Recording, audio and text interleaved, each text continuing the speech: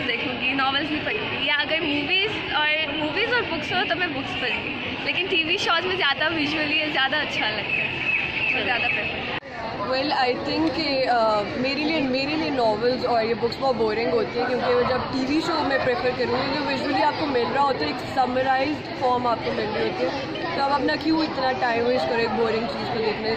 तो T V shows it is I think books को कोई भी कंपेयर नहीं कर सकता जिस तरह हम टी शोज़ देख लेते हैं या बुक्स देख लेते हैं दोनों अपनी जगह पे सही काम कर रहे हैं लेकिन रीडिंग को आप किसी भी वीडियो के साथ कंपेयर नहीं कर सकते। जैसे शर्लुक सीरीज़ है तो शर्लुक सीरीज़ आप जब देखते हैं तो वो आपको एक डिफरेंट इम्पैक्ट देती है। जब आप उसे पढ़ते हैं तो वो एक डिफरेंट इम्पैक्ट देती है। दोनों अपनी जगह पर बेस्ट काम करें लेकिन मेरा ख्याल है कि रीडिंग को हम ज़्यादा प्रेफर करना चाहिए।